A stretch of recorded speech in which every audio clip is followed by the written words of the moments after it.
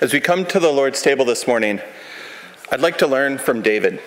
So if you could, go ahead and turn to 2 Samuel chapter 12. As you're turning there, I'll remind you of the story of David and Bathsheba. And if you don't have a Bible, there are men here that would love to put one in your hands. Just raise your hand and they'll bring one to you. And then um, we'll look at 2 Samuel chapter 12. If you don't own a Bible, this is yours to keep. So before we get to Samuel 12, remember that David at one point was home alone during a battle. And he noticed a married woman across the way and chose to commit sexual sin with her. He decided it was time to cover that up, and that cover up ultimately led to having her husband killed. He fathered her child and took her as a wife. And then we come to one of my favorite stories in Scripture. I often think of Nathan in this story. Have you ever confronted another believer who was in sin? It was hard, wasn't it? Thinking through how to bring it to them, how to make sure that you were presenting God's word well, worried about what their response was, but you knew that you had to show love to them by bringing that sin to them. This was Nathan. And yet he was bringing a sin to the king of Israel, who he knew had just had someone killed to cover this sin up. Um, Nathan had boldness that I'm not sure I have.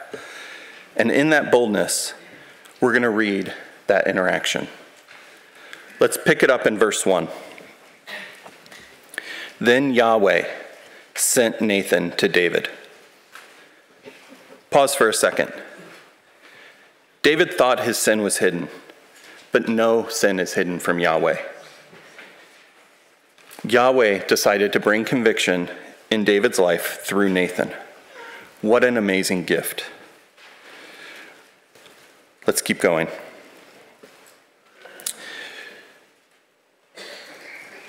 He came to him and said, There were two men in one city, the rich one and the other poor.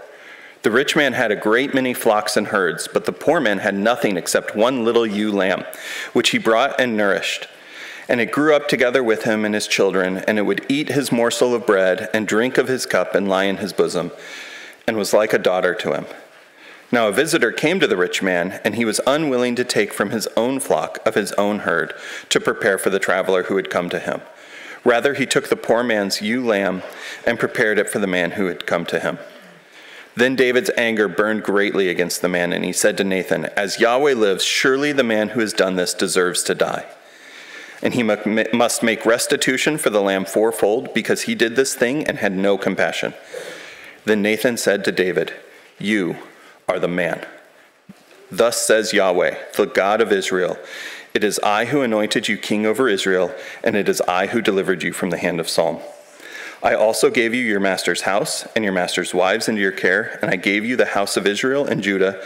And if that had been too little, I would have added to you many more things like these.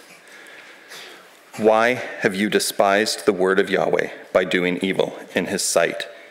You have struck down Uriah the Hittite with the sword, and have taken his wife to be your wife, and have killed him with the sword of the sons of Ammon.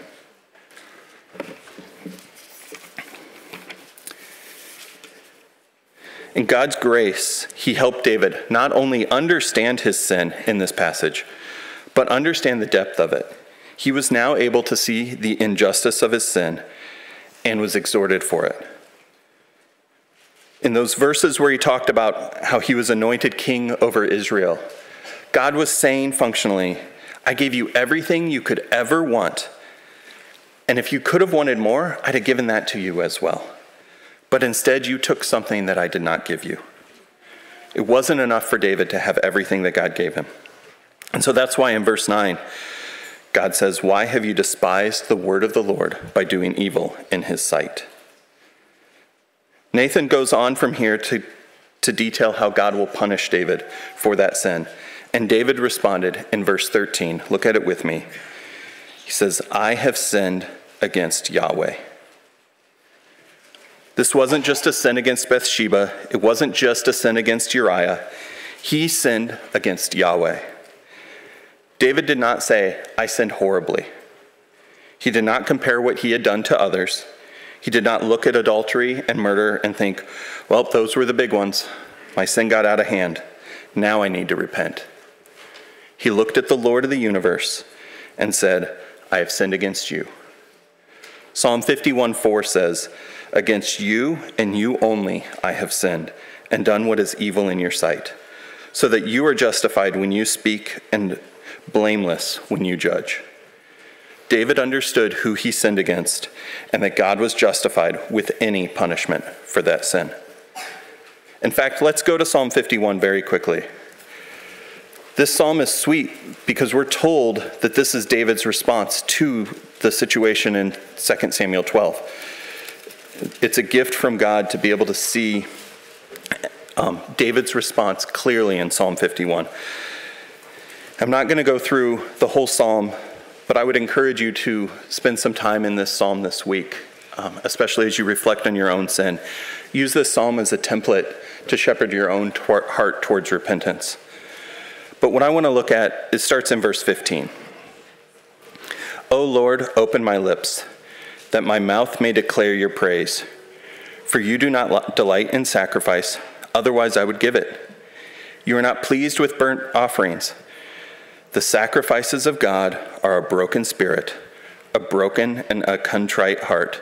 O God, you will not despise. You're probably wondering why 2 Samuel and Psalm 51 are the time the passages I picked in our time to remember Christ. I did that because of what Christ did at the cross. What he revealed to us at the cross and what repentance truly looks like. We get a template of repentance from David and an opportunity for us to put our faith into practice by using his template in our own lives. What God ended up doing with David was truly amazing. God was completely gracious to David. He sent Jesus to the cross to take the punishment for him. God showed more loving kindness than we can imagine by sending his son Jesus to that cross in David's base, place. God washed David's clean, clean of his sin by sending the perfect high priest in Jesus to the cross. And what God did at the cross was phenomenal by fully answering every aspect of David's plea in Psalm 51. And God did that for us as well. If we put our faith and trust in Jesus, He will wash our sins clean. As we come to the Lord's table this morning, we need to reflect on the depth of our sin before a perfect and holy God. And remember the breadth of God's loving kindness when He sent His Son to the cross. If you do not put your faith and trust in Christ and His death on the cross, we're so glad you're here. We'd love to talk to you after the service. There will be people over here that would be happy to pray with you and talk to you. There's people at the information table. Grab me after the service. We'd love to talk to you. But this time is a time reserved primarily and exclusively for those who put their faith and trust in God.